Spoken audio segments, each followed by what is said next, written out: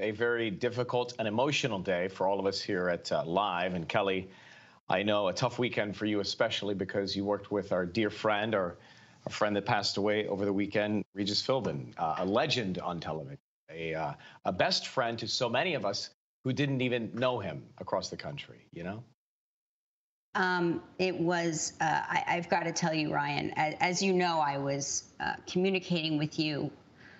Mark and I were lucky enough to have all of our children with us uh, this past weekend on Saturday. And, um, and so we were all together when we heard this horrible um, news. And, you know, as people get older, you, you know, you always know that some certain things are inevitable and um, passing away is one of those things. But Regis is one of the people that we all believed, I think, would somehow figure out a way around the inevitable. The inevitable. Yeah. And yeah. Um, you know, it was not in the cards, I suppose. Um, it was announced that he will be um, buried at his beloved Notre Dame, which I know is just means the world to him so many people uh, like you, Ryan, reached out to me and said, You're the first person I thought of. You're the first person I thought of. And which um, was very comforting. Uh, but I have to tell you, the, the first person I thought of was Joy and, and Joanna and JJ, his daughters. I thought of the girls, you know. And then I thought of Kathie Lee.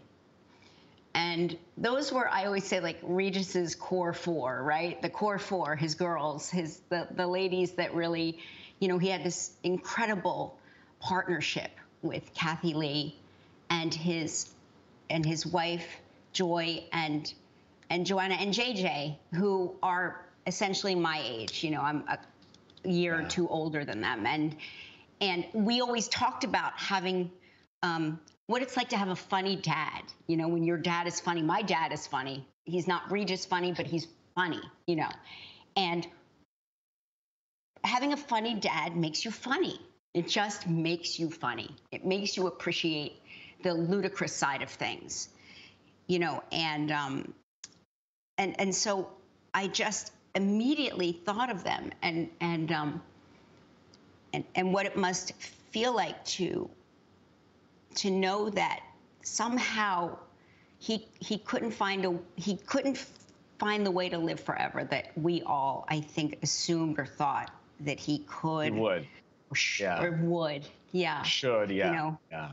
Yeah, or should, or somehow like God would give a special, you know, a special ticket for him.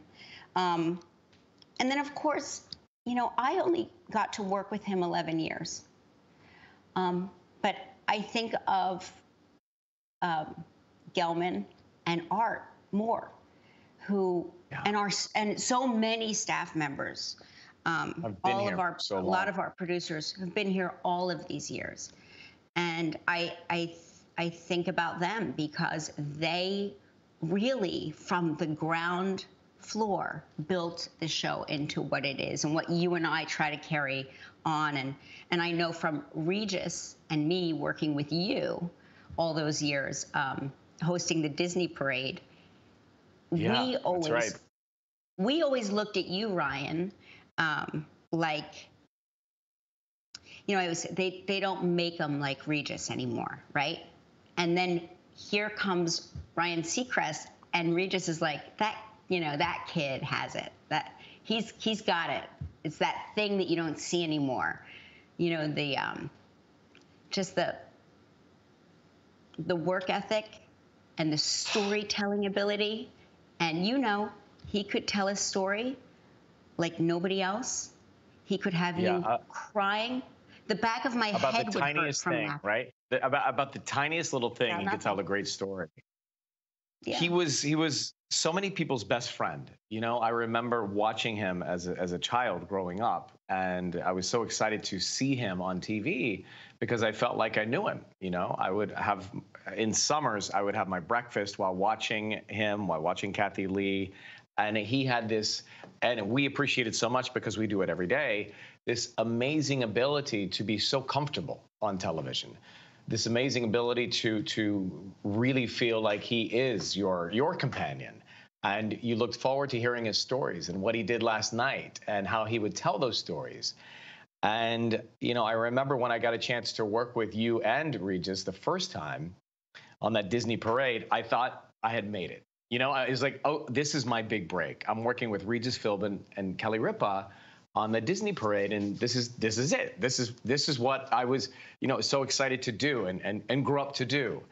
And you know, for me as as a young broadcaster, because you know Regis was a broadcaster, I looked up to him. I studied him. I watched him. I watched how he would walk on the set. I watched how he would sit in the stool. I watched how he would tell stories. I watched how he would interview guests. Um, you know, I looked up to Larry King and Regis Philbin. There, there are just there are just so very few people who are so iconic and and so good at what they did, and that is Regis Philbin. And I was, you know, Kelly, w- without getting emotional, I I got a text in the morning um, on this on this day over the weekend, and I actually, you know, I didn't believe it. Um, it was one of those things where you, you it was before the news came out and i sent you a note and i said i I, I hope this is just a rumor and not true. And for a minute, I convinced myself it was just a rumor. And then, of course, you know, we saw the news. It, uh, you know, like like I said before, um, and like you said, uh, Regis and Kathie Lee were all of our best friends, um, yeah. all of our best friends, and um, and I, like I said, when when I sat in that chair, which was a job I got by accident. Every, you know, it's like one of those things that. where it's truly an accidental moment in in my life.